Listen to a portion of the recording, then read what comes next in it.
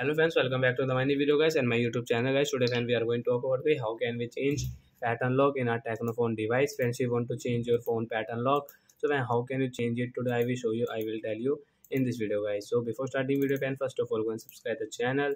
Click the bell icon like the video. So friends open your phone setting guys. After on phone setting guys scroll it friends. Click on guys your phone.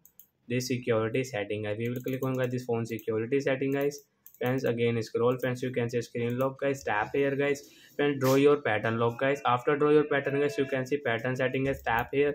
Friends you can see this notification guys. Again tap here guys. So friends new pattern guys i will change into guys this z. So when next again guys z and guys confirm.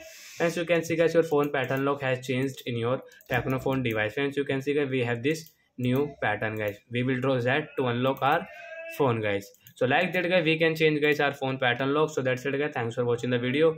I hope friends you have understood how to change pattern lock in Tecno phone. So bye guys